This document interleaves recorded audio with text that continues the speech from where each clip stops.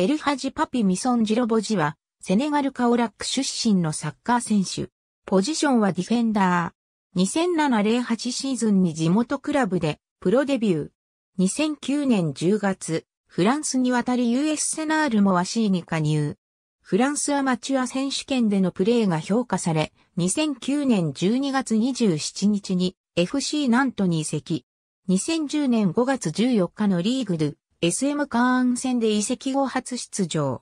2年目にレギュラーを獲得し、最終的に171試合で9ゴールを挙げた。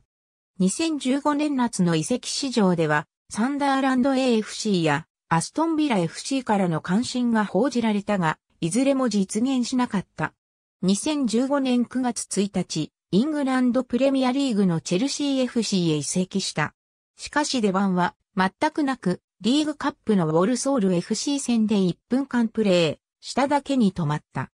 ジョゼ・モーリーニョが解任され、フース・ヒディンクが新監督に就任にしても状況は変わらなかった。2016年1月21日、シーズン終了までの契約で、ベルダーブレーメンに期限付き移籍。3日後のシャルケレイオン戦で加入後初出場。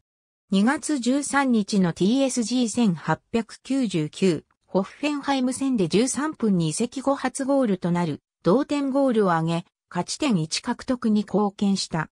3月、1、FSV マインツレーゴ戦で、パブロ・デブラシスに対して行った首切りジェスチャーへの制裁として2試合の出場停止処分を課された。最終節のアイントラハとフランクフルト戦でチームを降格の危機から救う決勝ゴールを挙げた。2016年8月5日、サンダーランド AFC に800万ポンドで移籍、4年契約を結んだ。16日後のミドルズブラ FC 戦でプレミアリーグデビュー。11月19日のハルシティ FC 戦で退場処分を受けた。2017年1月、ウエストブロムウィッチアルビオン FC 戦でダレン・フレッチャーに暴力行為を行ったとして、フットボールアソシエーションから罰金と4試合の出場停止処分を課された。2018年9月12日にサンダーランドはパッピジロボジが契約を破り、フィットネステストに失敗したため、契約を解除したと発表した。